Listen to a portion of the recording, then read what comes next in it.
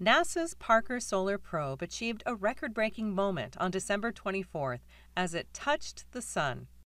It successfully completed humanity's closest approach to a star. We were able to actually fly through the upper atmosphere, of the corona of the Sun, which is just an amazing thing if you think about it. This flyby took the probe through the sun's corona at 6.1 million kilometers above the solar surface, subjecting the craft to temperatures of 982 degrees Celsius.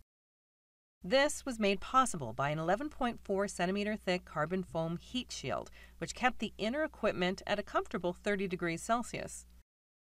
But that's not the only record it broke. It also achieved the fastest speed of any man made object, at 690,000 kilometers per hour, fast enough to travel from Toronto to Shanghai in one minute.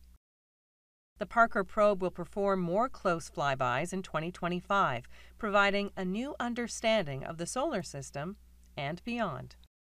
We're rewriting the textbooks on how the sun works with this data and with the information that we give from this.